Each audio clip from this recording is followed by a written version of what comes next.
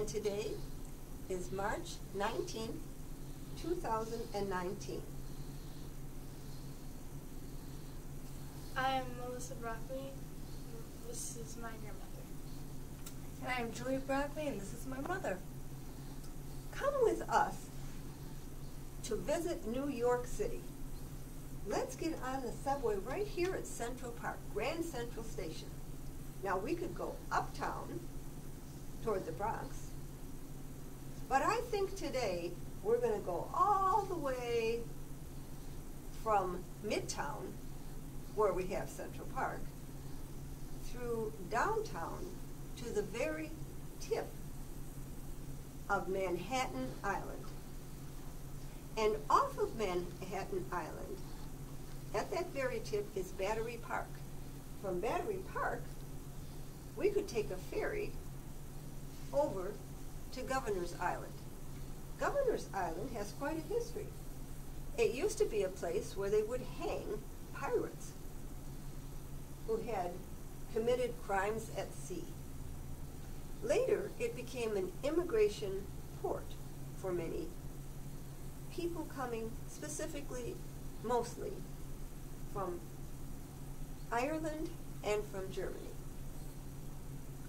There was a big edifice called Castle Gardens, and that was the immigration station. And later, that structure became a dance hall where the Swedish dancer and singer Jenny Lind performed. And she performed all across the country, financed by the irrepressible P.T. Barnum.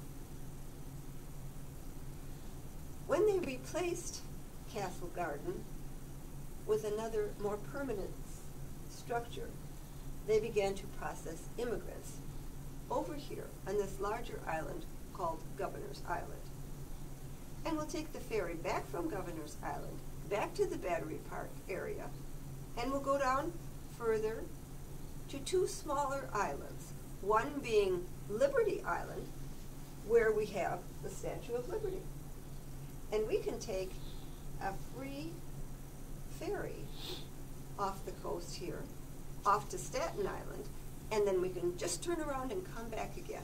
All we really want to do is to get close to and see the Statue of Liberty. And remember when we did that and we could see there, her there with her torch welcoming the immigrants? It's so exciting because that same statue welcomed all of my relatives, all of the people in my family, my mother's family, and my father's family.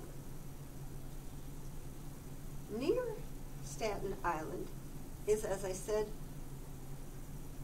the island of Liberty Island, and then there is Ellis Island. Ellis Island is so named because the person who owned that island was Mr. Ellis. And there was also a site where hangings took place in earlier times. But that changed. The original inspection station opened in 1892 on Ellis Island. And it was a wooden structure and it was built of Georgia pine. Unfortunately, it burned to the ground. After it burned to the ground, the federal government, who had at this point taken over the administration of immigration from the state of New York, who governed it years before on Governor's Island, they built a new building with a steel frame and covered it with red brick. And by 1900, when that building opened, 80% of American immigrants passed through this port of New York through Ellis Island. In 1954, the government just gave up on the whole edifice on Ellis Island. They just let it go to ruin. And it wasn't until 1980 when our own scion of the automotive industry, Lee Iacocca, led a big campaign to restore the immigration building on El- Ellis Island and made it into an immigration museum. Now, Lee Iacocca was, of course, inspired to do so because his own forebears came in from Italy. It was not easy to come in to the United States. You had to go through a whole passage of doctors who would examine you to make sure that you had no skin conditions, and they had interpreters asking you about your background and which country you came from. And it was particularly hard for the Slavs, those who came from Slavic countries, and also for the Italians. Chinese were just out and out biased against. They couldn't come in. And when you came through, you also had to have your eyes examined. So they had doctors there checking your eyes. It was also a treacherous journey because most people did not have very much money and they weren't like in a cabin as if they were on a cruise ship. They were sitting or on the on the deck itself or on assorted desk, deck deck chairs. And they were getting very sick to their stomach because the, the waves were very strong. And speaking of waves, that makes me think of all of my relatives who came in and the genogram that I created based on their background, using the standard symbols. They show above the name a little wavy line, and that is the standard for immigrants coming in over the waves. And if they have a little L next to their names, that means that they spoke their language and not English. Just kind of a curious thing. Now, Julie, there's the, the island of Sicily. Can you point out for us where the my father's and mother's people came in? That's right, there's Messina, where my mother's father lived, and just above Messina is where my father's people came from, Calabria, which is near Albania and a very, very poverty-stricken mountainous area. And then toward the middle of Sicily, we have Palermo, which is the larger city. It has been my great privilege to visit the places of my grandparents and to visit my father in Sicily.